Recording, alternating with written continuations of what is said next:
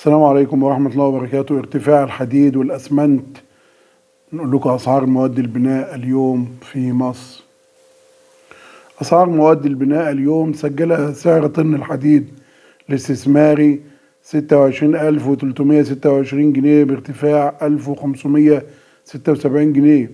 حديد عز سجل سبعة وعشرين ألف وأربعمية اتنين وتمانين بزيادة ألفين وسبعة وأربعين جنيه.